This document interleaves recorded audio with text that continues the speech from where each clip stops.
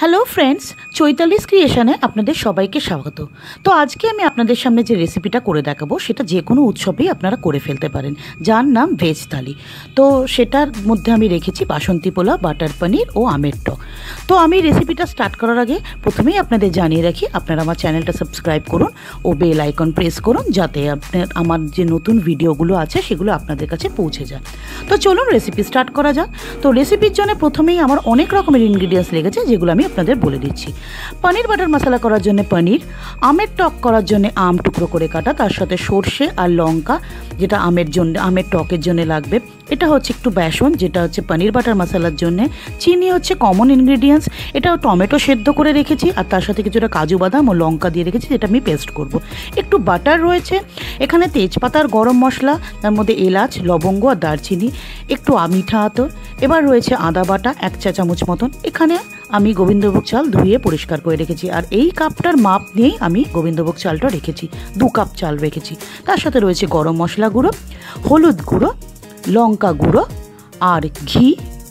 আর আমি এখানে রেখেছি নুন এবং তার সাথে রেখেছি ক্রিম, যেটা আমার পনির বাটার মশলাতে লাগবে। আর কাসুরি মেথি, সেটাও আমার পনির বাটার মশালাতেই লাগবে। তো আসুন আমি এক এক করে ইনগ্রিডিয়েন্টসগুলো আপনাদের বলে দিচ্ছি, দেখিয়ে দিচ্ছি। এটা আমার গোবিন্দভোগ চাল, ঠিক এই দু কাপ মাপের আমি গোবিন্দভোগ চাল ভালো করে ধুয়ে, শুকনো করে, পরিষ্কার করে রেখে দিয়েছি। এটা আমার মেজারিং কাপ আপনারা যে মেজারিং কাপটা নেবেন, সেটাই কিন্তু মাথায় রাখবেন। তো আসুন আমি এবারে এটাকে সুন্দর করে মেখে নিই। আমার কিন্তু এই চালটা ধুয়ে পরিষ্কার করা। আপনারা কিন্তু এটা ধুয়ে, পরিষ্কার করে, ঝরঝরে করে রেখে দেবেন।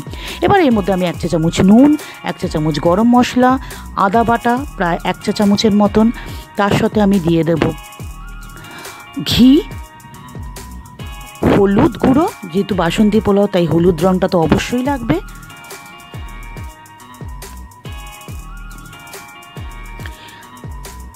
আপনারা ঘিটা দেবেন, যতটুকু আপনাদের যেরকম আপনারা চান, কেন ঘি আমি আবার ঘিতে কিন্তু ভাজবো, সেই জন্য এটাতে আমি এক চা চামচ ঘি আমি ভালো করে চালের মধ্যে দিয়ে দিলাম, আর এখানে দেবো এক চা চামচ চিনি।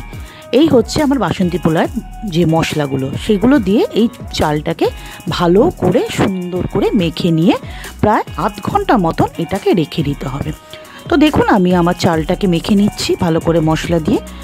এবার দেখুন, আমার মশলা মাখিয়ে আমার ভাতের রঙটা ঠিক এরকম হয়েছে এবার আমি পনির বাটার মশলার মশলাটা তৈরি করব।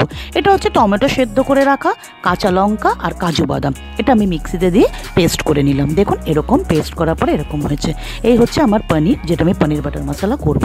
এখানে আমি নুন আর হলুদ দিয়ে আমি এটা করব। ভাজবার জন্য রেডি করব। একটা কথা মাথায় রাখবেন, আমি কিন্তু এখানে কোনো পেঁয়াজ, রসুন, আদা কোনোটাই ব্যবহার করব না একদম টোটালি এইগুলো ছাড়া আমি পনির বাটার মশলা তৈরি করব।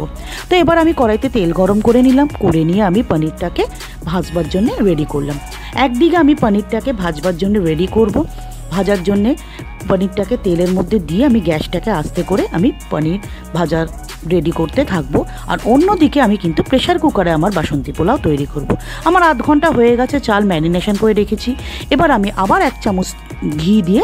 আর যদি ইচ্ছে করেন, আপনারা এক চা চামচ মতন সাদা তেলও ইউজ করতে পারেন। প্রেশার কুকারে কিন্তু খুব তাড়াতাড়ি বাসন্তী পোলাও ঝরঝরে হয়ে যাবে এবং সময়ও কম লাগবে। এবার আমি ঘিয়ের মধ্যে এই যে মার ম্যারিনেশন করা চালটা আমি এটা দিয়ে দিলাম প্রেশার কুকারের মধ্যে। ঘিটা একটু গরম হলে তবেই ছাড়বেন।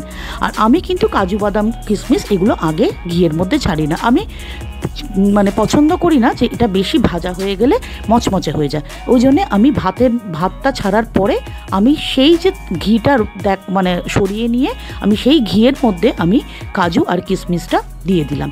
তার মধ্যেই আমি এটাকে নাড়াচাড়া করে কিছুটা গরম মশলা দিয়ে, তেজপাতা দিয়ে আমি এটা খুব ভালোভাবে নেড়ে চেড়ে নেব। কোনোটাই খুব বিশাল আমি ভাজবো না। এবার আমার দেখুন ভাজা, ভাজছি, ভাজা হয়ে গেল, চাল ভাজা যখন হয়ে যাবে, তখন পরিমাণ মতো নুন আর টেস্ট অনুযায়ী চিনি দিয়ে দেবেন। দিয়ে এটাকে ভালো করে নাড়াচাড়া করে নেবেন। এই যদি আপনি ডাইরেক্ট ঘিতে যদি কাজু কিশমিশটা দিয়ে দেন, অনেক সময় পুড়ে যাওয়ার সম্ভাবনা থাকে। কিন্তু চালের সাথে যদি ছাড়েন, তাহলে এটা সহজে পুড়ে ওঠে না। এবার দেখুন, এইভাবে আমি নাড়াচাড়া করছি।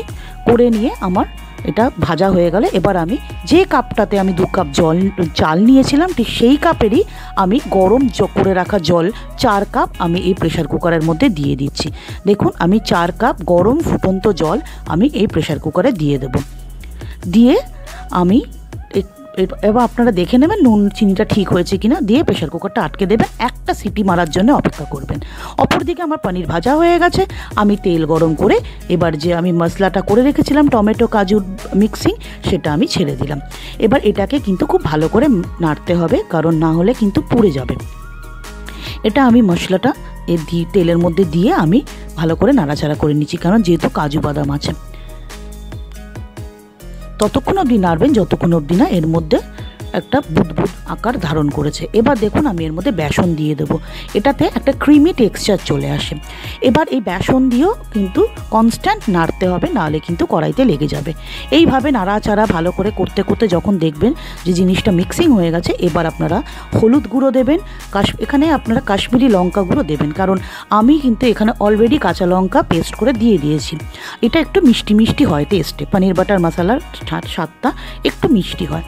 এবার আমি পরিমাণ মতো চিনি, নুন সব দিয়ে আমি মশলাটাকে আবার ভালো করে নাড়াচাড়া করতে লাগবো।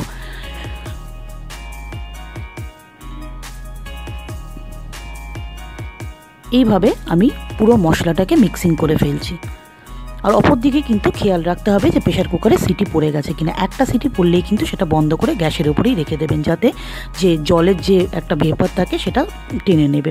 এবার আমি এই মশলার মধ্যে দিয়ে দিলাম ক্রিম ক্রিমটা দিয়েও খুব ভালো করে নাড়াচাড়া করতে থাকছি। দেখুন, খুব সুন্দর একটা রং এসে গেছে। যখন এটা মোটামুটি মশলাটা রেডি হয়ে যাবে, তখন আস্তে করে পনিরগুলো ছেড়ে দেবেন। দেখবেন যেন পনিরগুলো বেশিক্ষণ না ফোটে তাহলে কিন্তু পনির ভেঙে যেতে পারে।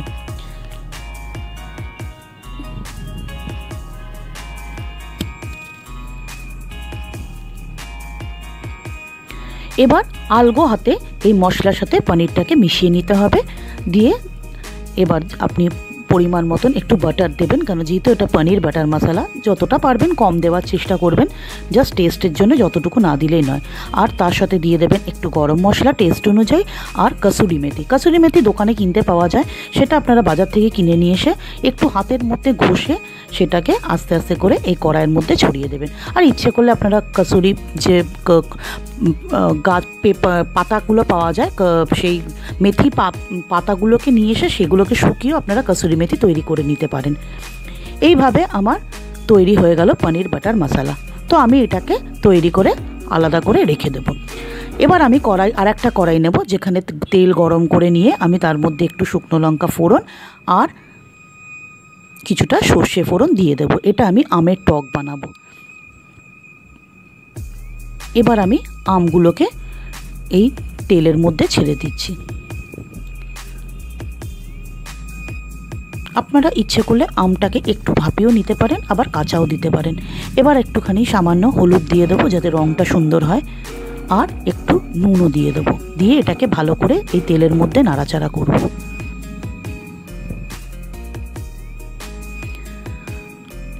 অপরদিকে দেখুন, আমার কিন্তু বাসন্তী পোলাও হয়ে গেছে। তাও আমি গ্যাসে রেখে দিচ্ছি, যতটা জল ছিল সেই জলটা যাতে টেনে নেয়। আর ইতিমধ্যে আমার আম ভাজা হয়ে গেছে, তেলের সাথে এবার আমি জল দিয়ে দিলাম পরিমাণ মতন, সেদ্ধ করার জন্যে।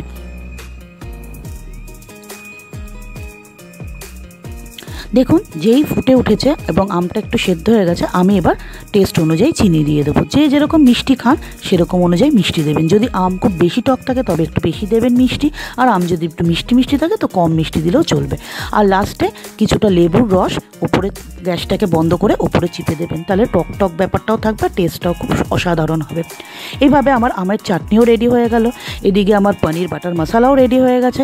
আবার অপর দিকে আমার বাসন্তী পোলাও রেডি এবার আমার প্লেটিং করার পালা। আর আমি কিছু পাঁপড় ভেজে নিয়েছি। ও মিষ্টি আমার বাড়িতে ছিল, সেটা সহযোগে আমি ভেজ থালিটা রেডি করব। একটা বাটির মধ্যে বাসন্তী পোলাওটা নিয়ে চেপে চেপে তার শেপটা নিয়ে তৈরি করতে হবে, যাতে একটা বাটির মতন গোল আকার তৈরি হয়। এইভাবে আমি বাসন্তী পোলাওটাকে বাটির মধ্যে চেপে একটা সুন্দর শেপ তৈরি করার জন্য চেপে রাখছি। আর অন্যদিকে আমি এক একটা বাটি নেব, নিয়ে তাতে আমি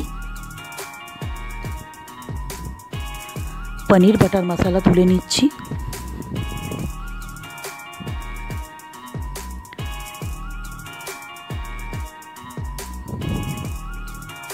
আর একটা বাটিতে আমি চাটনি তুলে নেব।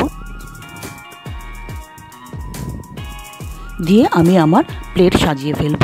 দেখুন, এবার আমি আমার প্লেটের মধ্যে বাসন্তী পোলাও, চাটনি, পনির বাটার মশলা আর পাঁপড় আর মিষ্টি সহযোগে প্রেজেন্ট করে ফেললাম। এরকম একটা প্লেট যদি উৎসবের দিনে বানিয়ে ফেলেন, তো বাড়ির লোকেরা সত্যিই খুব খুশি হয়ে যাবে। আমার মনে হয় আপনাদের এটা আজই বানিয়ে ফেলা উচিত। তো ফ্রেন্ডস আপনাদের যদি আমার এই রান্না ভালো লেগে থাকে, তো লাইক করুন আর বন্ধুদের সাথে সোশ্যাল মিডিয়ায় শেয়ার করুন। থ্যাংক ইউ সবাই খুব ভালো থাকবেন।